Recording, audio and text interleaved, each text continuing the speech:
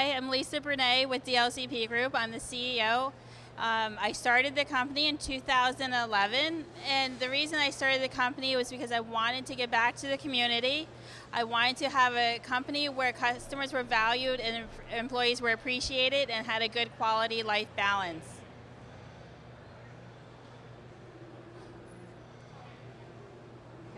So as a, as a woman in tech, there's not many women that are actually in the field, and it's been very challenging with me over the years. Some of the challenges I faced, and it was very obvious, I went to an, an Amazon Web Service conference where there was 60,000 people, but there was only less than 2% were women. And it was very obvious then that we needed to make a change to make a difference for women.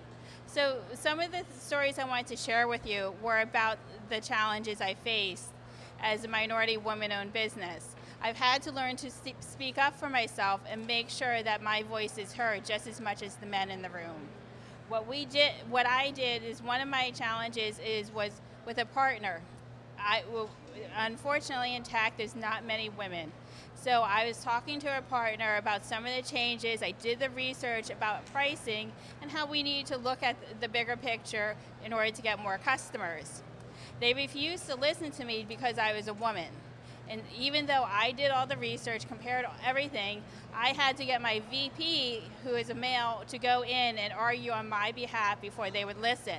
And then he said, oh, by the way, now that you're listening and willing to talk about price, that was all Lisa, and that's what she's been trying to tell you for the past two years.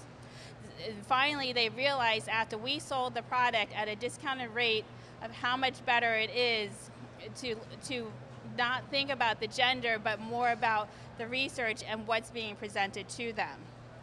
From there, I've also experienced bias with other partners. Um, I was at a networking event a couple years ago.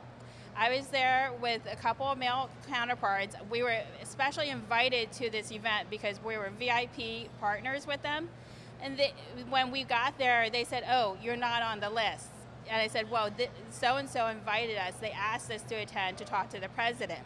They went and got the president, brought him over to us, and instead of acknowledging me, who was standing in front of the men, they looked past me and went and talked to the men and said, "Hi, I'm the president. Uh, my name is so and so." And I'm like, "Well," and my my employee just looked at them and said, "Well, you need to talk to her. She's the president. She's the one that makes the decisions."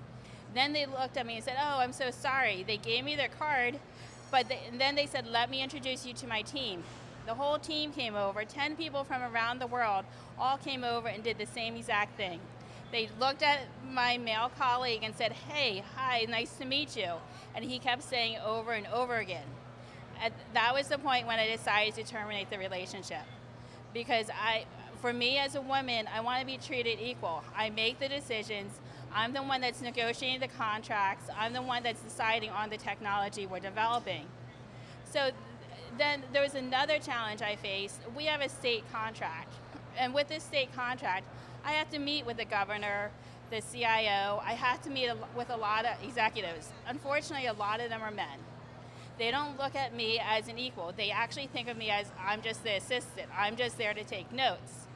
So when they actually, when they see me in the room, they look at me and go, oh, she's here to take notes. And, one, and there was one time we met with the governor of the state, and the governor actually looked at my male counterparts and said, oh, nice to meet you, and assumed they were the president and vice president.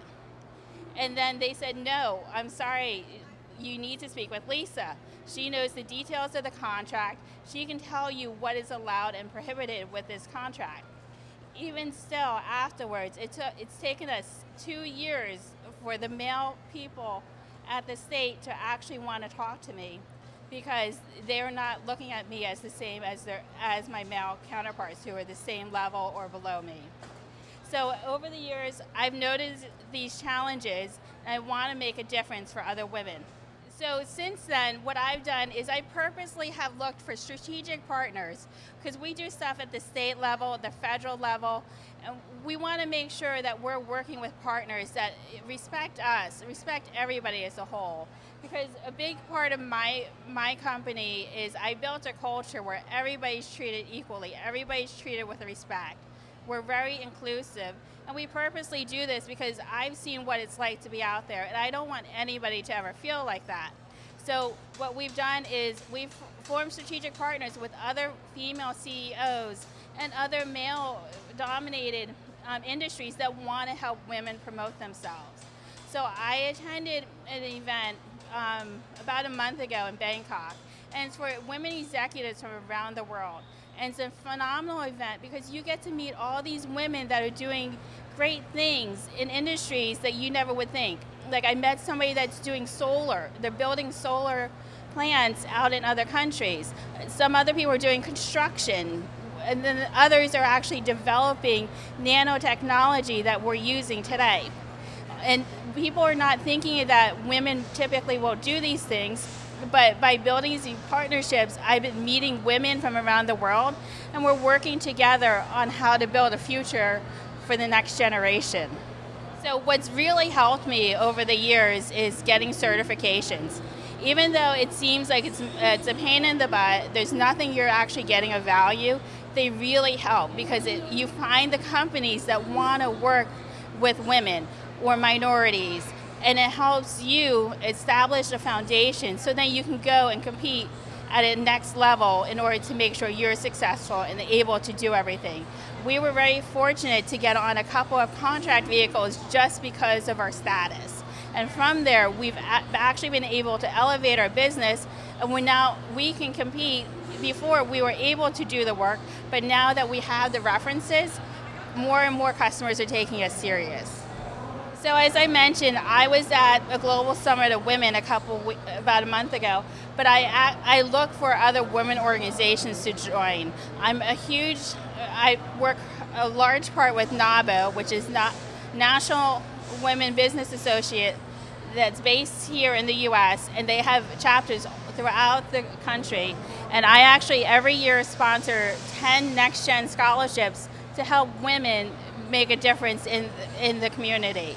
And what, with these scholarships, it gives them the opportunity to get access to the platform, meet, attend the conferences, attend the local meetups, and get that exposure at an early age. Because I wish I knew about this when I started my business. It makes a huge difference to have people to sit there and support you.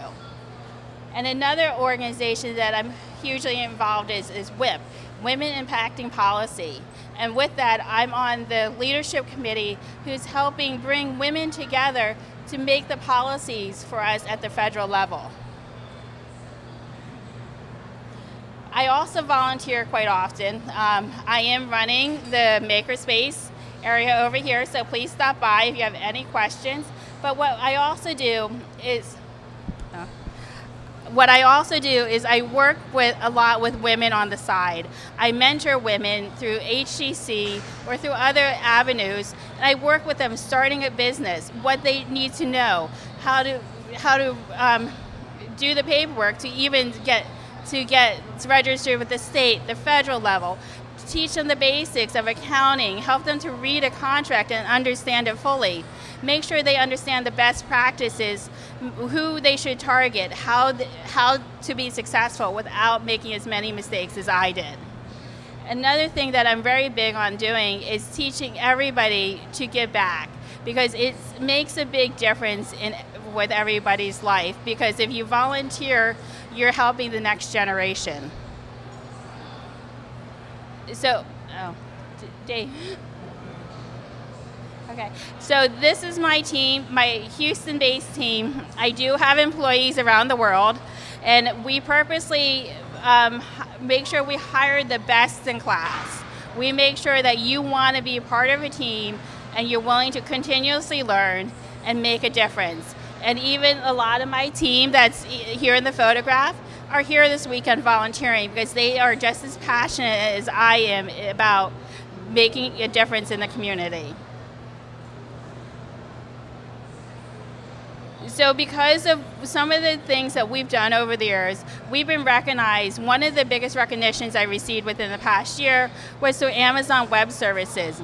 The, the former vice president uh, of Worldwide Public Sector, Sandy Carter, gave us an award for Think Big for Small Business. We help them develop a program tied for small businesses to make sure that they can compete at the same level as the top consulting firms. Because we were, we were challenged, we were one of the first partners with AWS.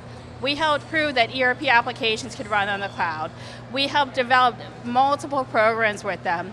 But we, were, we weren't at the same level as the big guys because we were a small company. I could never get the 100 certifications required to keep our status. Even though we had the most referenceable customers, we still couldn't get it.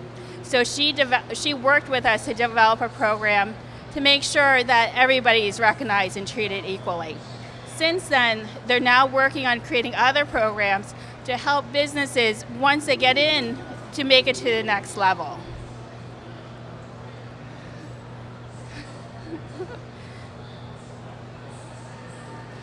okay. Well, thank you. Thank you for listening to me. We have two other great speakers. Please stay and listen to them as well.